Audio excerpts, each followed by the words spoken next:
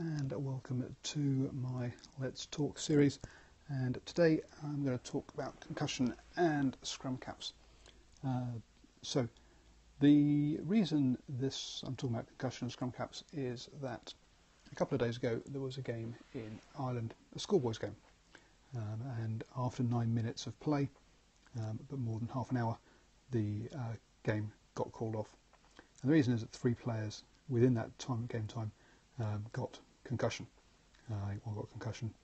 Um, he was seen to, and then there was a second incident with more uh, players, two other players getting concussed.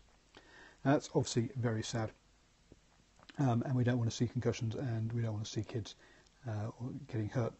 Uh, but one of the things that's come out of this, and the reason I'm talking about this, is that a senator in Ireland has suggested that all people should have to wear headgear or scrum caps uh, to stop concussion. Now, this as we've seen in the States, is really not um, something that works. Uh, headgear does not stop concussion as we've seen in the NFL. They wear much more structurally for much more larger helmets than um, scrum caps in rugby, uh, and they've had a massive concussion issue. What that led to was players actually leading with their heads and using their heads as a weapon, um, which was a, which in retrospect was a crazy thing to do, and so this suggestion that the scrum cap, which is a much less much um, structural uh, piece of headgear will have any more effect is clearly not going to happen. There was one scrum cap that came out um, a while ago um, that suggested it did say that it would protect against concussion, but that never got signed off by World Rugby um, to be used, uh, and medical experts came out at the time saying they were very dubious about, the, about its claims, um, and so so am I. So um, one of the reasons I'm talking about this, and I think uh, is that we need, if, if we've got people like senators, people in the public eye who are suggesting these kind of things, clearly we need more education, we need more awareness around concussion and around what a scrum cap can, can and cannot do.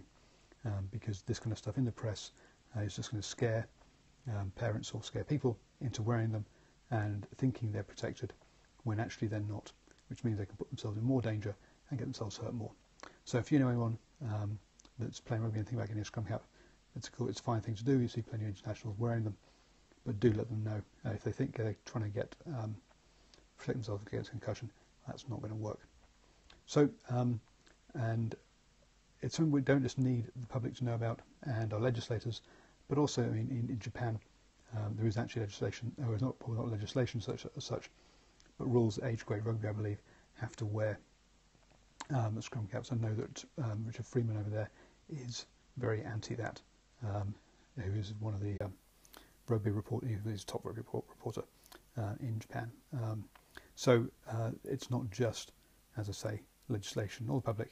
It's also some rugby authorities as well uh, that have well-meaning um, around scrum caps, but it's not actually going to help you. Um, unapologetically, I will be coming back and talking about concussion other times as it crops up.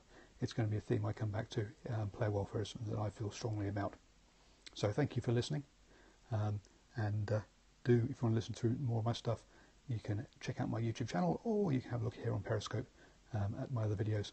And if you'd like to support me, please do become a patron of Driving Ball. Thank you, everybody.